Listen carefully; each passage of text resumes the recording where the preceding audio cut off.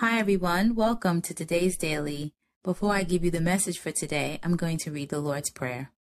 Our Father, who art in heaven, hallowed be thy name, thy kingdom come, thy will be done, on earth as it is in heaven.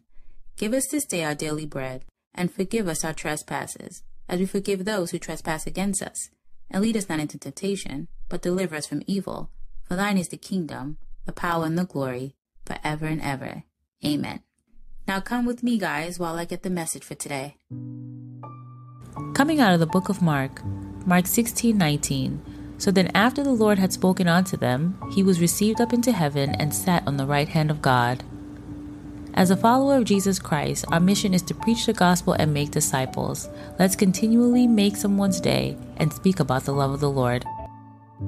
Before you go, if you haven't received Jesus as your Lord and Savior, say this prayer with me.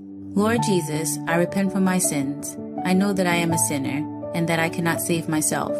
No longer will I close the door when I hear you knocking. By faith, I gratefully receive your gift of salvation. I am ready to trust you as my Lord and Savior. I believe you are the Son of God, who died on the cross for my sins and rose from the dead on that third day. Thank you for bearing my sins and giving me the gift of eternal life. Come into my heart, Lord Jesus, and be my Savior.